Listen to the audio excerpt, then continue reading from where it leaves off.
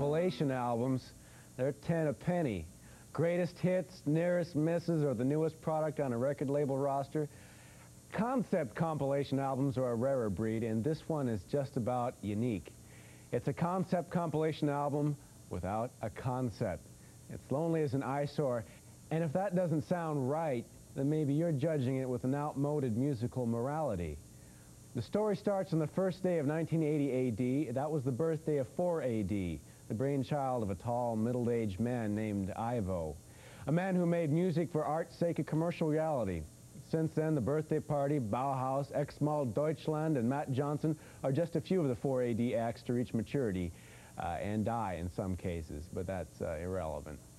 Two years ago, Ivo started work on his most ambitious project, Lonely Is an Eyesore. The name comes from a line in, the, a line in Fish by the Boston band Throwing Muses.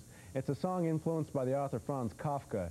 Uh, the choice is purely incidental. The album has no central theme or identifiable concept, although it does have a very distinctive flavor.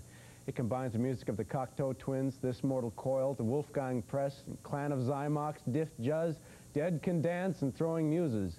We're not a new musical revolution, says Ivo, and we're not looking to embrace any ideology of the past, except some aspects of the experimentation of the 1960s.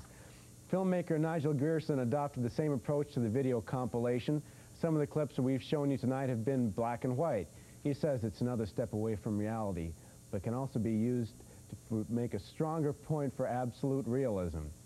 That's one of the contradictions that make Lonely Is an Eyesore so absolutely real.